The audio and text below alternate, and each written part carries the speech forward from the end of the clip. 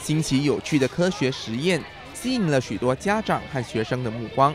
吉隆坡显都淡米尔文小学举办科学展览会，主要提高学生对科学的兴趣，加强孩子自律、主动学习的精神，更希望从小灌输减量、再使用和再回收的环保观念。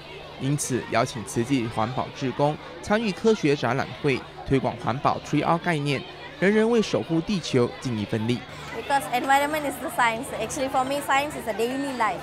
All the things here they are seeing every day, but they don't know that it can be recycled, it can be reduced, all that. 很多人去不管我们的 nature，OK，所以。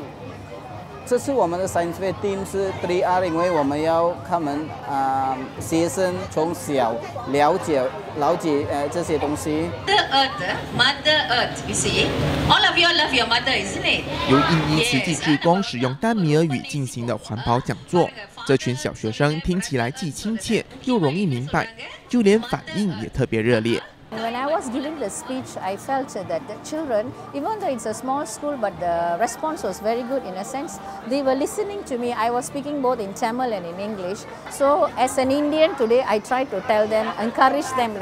We, we just don't talk to them, you know, we practice. So, ask them to come to our center, do some recycling, then they know the value. Oh, I'm throwing so many things, everything can be used.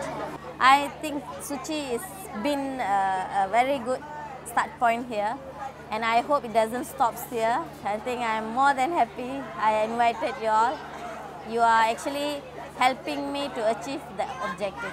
教育机构与非政府组织合作，从幼小的年纪开始为国家栽植人才，用科学的方式保护环境，用美丽的环境实践未来梦想。